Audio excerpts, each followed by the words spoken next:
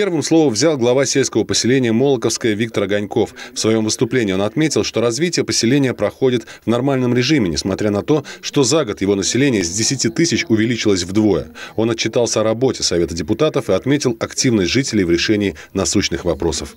Хочу поблагодарить руководителей предприятий, учреждений, индивидуальных предпринимателей за оказанную помощь и внимательное отношение к жителям поселения. Сказать слова благодарности депутатам сельского поселения Молодское за их неравнодушие к своему поселению. Руководитель администрации поселения Любовь Тарабрина рассказала о мероприятиях, направленных на улучшение условий жизни граждан. В частности, она отчиталась об установке новых объектов освещения, о развитии сети водоснабжения поселения. Также она осветила вопросы реализации муниципальных программ формирования современной городской среды, безопасность и развития дорожно-транспортного комплекса.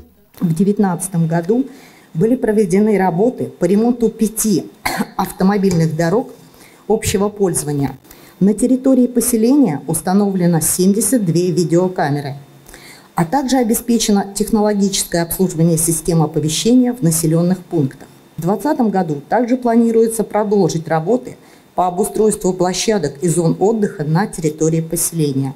В целом, работа руководства поселения оценивается жителями положительно. Об этом говорит тот факт, что сразу после выступления Любови Тарабриной слово взяли несколько местных жителей, которые поблагодарили ее и Виктора Огонькова за ряд реализованных проектов. А вот заместитель главы администрации муниципалитета Алексей Селезнев отметил, что представленный отчет был не совсем полным. У нас в основном все докладывают, что сделано, что не сделано, хотелось бы тоже знать.